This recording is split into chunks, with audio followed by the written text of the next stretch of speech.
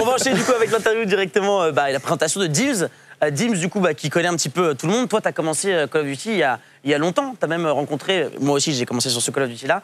On s'est tous les trois rencontrés indirectement, entre guillemets, sur Call of Duty 4 Pro Mode sur PC à l'époque. Exactement, ouais. Bah, à l'époque, euh, j'avais découvert le jeu, j'en suis tombé amoureux parce que forcément, c'était le meilleur jeu au monde. Et, euh, Je suis d'accord. euh, bah, j'ai un petit peu évolué sur console parce qu'à l'époque, j'avais pas forcément les moyens d'acheter un PC. Et puis, euh, bah, j'ai fait mes petites économies, je suis venu sur PC. On a joué pas mal de temps avec, euh, avec Broken notamment et, et d'autres gens de la scène, euh, la scène Call of Duty euh, console. Et puis, euh, bah, j'ai décidé de rester quelques années finalement. Parce que bah, le jeu était vraiment bien. J'ai vraiment attendu que le jeu euh, baisse en hype pour. euh, T'as pas casté tout de suite, t'as t'as fait que- t'as casté d'autres jeux avant de te remettre à du casque Call of Duty Euh, finalement, c'est ouais, ça parce qu'en parallèle, je jouais aussi beaucoup à FIFA et Ouais. je, je commentais. On animait une web radio FIFA à l'époque avec un, un youtubeur qui Une s'appelle web radio. FIFA quoi. Genre, Ouais, ouais, il m'a dit ça. tu Bah, en fait, à l'époque, c'était les championnats de, de France 11 contre 11 et euh, enfin voilà, il y avait tout un, tout un système autour. Et puis euh, via FIFA, je suis rentré dans la structure Millennium en 2012. Et euh, du coup, euh, je me suis. BRK n'était pas né euh, non. BRK, BRK est un nouveau-né et, et- et Maxi était encore bon. Et, euh,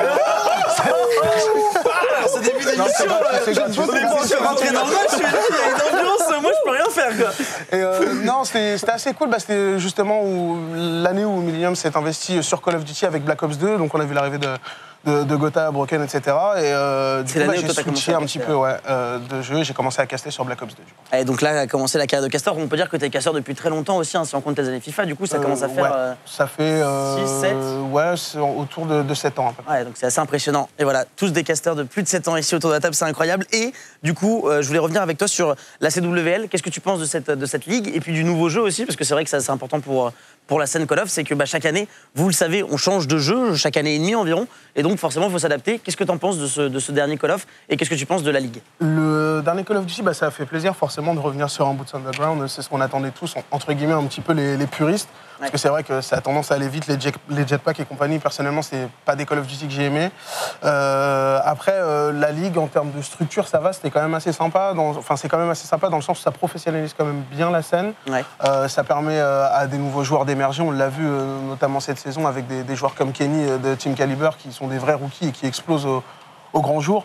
Après, euh, le problème, c'est le système de Pro Points pour moi qui, qui a mis beaucoup trop de pression sur les joueurs dans la mesure où, bah, dans beaucoup de jeux e-sport, voilà, on doit s'entraîner, etc. Mais le fait de devoir jouer tous les jours pour euh, une poignée de Pro Points, mais qui au final peuvent te pénaliser en fin de saison, c'est un petit peu à revoir pour moi de ce côté-là. Mais après, euh, je pense qu'il n'y a que des, des bons côtés à la Call of League. D'accord, bah justement, ouais, tu voulais revenir dessus, Berka? Bah, justement, en fait, le Pro Point, le problème de ce système-là, je trouve aussi, euh, dont, euh, dont Dims a raison, c'est qu'en fait, tu joues des matchs contre des équipes insignifiantes. Donc, en fait, tu joues contre des personnes qui ne veulent pas vraiment s'entraîner, ils les font pour les faire. Donc, en fait, le problème, c'est que tu n'as vraiment pas d'un entraînement intensif et utile pour ton amélioration. C'est pour ça que c'est un problème. Je pense que le fait de jouer tous les jours, lorsqu'on va être joueur professionnel, c'est normal. Mais de jouer des matchs qui n'ont aucun intérêt, c'est là le petit souci, justement. Ça de aide pas à progresser. Enfin, Voilà, c'est ça, exactement. euh, Mm. ouais. Limite, limite tu, tu régresses finalement de, de niveau. Parce que Tu prends des mauvaises habitudes contre des équipes plus faibles toi, et l'habitude d'être en roue libre comme ça, et quand tu arrives sur un open ou sur un tournoi où c'est un peu plus important, il faut réélever le niveau, et c'est vrai que ça peut sembler. Ouais, c'est un vrai challenge du coup. hein. Mais c'est un peu le challenge aussi des Open, hein, on en reparlera. Là, on est sur la Ligue, donc c'est les meilleures équipes du monde qui s'affrontent. Mais ces meilleures équipes-là, elles aussi, quand elles arrivent et qu'elles sont dans l'Open, elles doivent jouer plein plein d'équipes et il faut être bon sur la durée. Et il faut faire attention bah, de ne pas jouer aussi, on va dire, de manière simple et, Mhm. euh, et un peu trop agressive contre les équipes faibles que contre les équipes qui vont être dans le niveau euh, égal au tien. Donc ça, c'est très compliqué. Dernière petite question. La scène française, purement et simplement, on peut parler vite fait de Vitality. Et puis, euh, qu'est-ce que tu penses un petit peu de cette euh, scène française castée exclusivement sur la chaîne de BRK N'hésitez pas à passer le voir.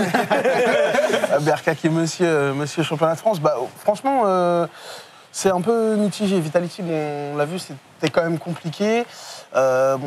C'est vrai que voilà, c'est déjà bien qu'on ait une équipe française, je trouve, euh, présente dans, dans- dans cette Pro League. Faut pas l'oublier. Je pense qu'il y a encore quelques années, euh, voir des, une, des équipes françaises déranger ou battre des équipes américaines, c'était clairement impossible. Donc aujourd'hui, on a vu que c'était possible avec euh, l'équipe Vitality. Merci Et- Karma finalement sur le long terme qui a les Européens comment jouer contre les Américains? pour au final, ouais, voilà, c'est un peu le- l'élève qui dépassera peut-être le maître un jour. Pour le moment, on est encore un peu loin, je pense. Après, au niveau de la scène amateur, je trouve que c'est quand même euh, pas mal. Parce qu'il y a un gros, gros vivier de jeunes joueurs qui sont en train d'exploser. On l'a vu notamment avec les Monaco eSports qui ont plutôt bien perf à Atlanta. Ils ont fait une grosse remontée de l'Open Bracket. Ils ont réussi, euh, je crois même, euh, c'était la première fois de l'histoire qu'une équipe française revenait de l'Open pour aller directement dans le, dans le Pro Bracket. Donc, euh, c'est de bon augure pour la suite. Mais voilà, je pense qu'il va falloir être plus régulier et que les structures françaises euh, se développent plus avec des rosters français, parce que c'est vrai qu'on a tendance à avoir bah, des grosses structures françaises une fois que ça s'envole, prendre des joueurs européens euh, et pourquoi pas américains Aïe, aïe, aïe. maintenant. La fameuse mondialisation de l'e-sport. Exactement. C'est un peu ça, comme les sports, hein, dès qu'on commence à avoir de l'argent, les PSG e-sport, même, même moi qui fais les gamers origines, les Vitality, on commence à prendre des joueurs parfois étrangers parce que bah, ce sont. On peut pas prendre que des Français quand Ah, les meilleurs sont. Bah, voilà, Overwatch, c'est ça, Overwatch, c'est pareil. Une hein. équipe full coréenne. Exactement, donc euh, finalement ça dépend des jeux, mais on sent quand même que euh, ça se globalise et donc du coup il y a quelques petites pépites françaises qui vont sortir. Ouais. Ouais. Il va falloir supporter les équipes 100% françaises, mais j'ai pas envie de dire qu'il y en aura de moins en moins, mais je pense euh, Ouais, que ça va semble pas exploser en termes de nombre. Plus, je pense que c'est plus probable que des pépites françaises explosent et aillent euh, s'exporter à l'in- à l'international plutôt que.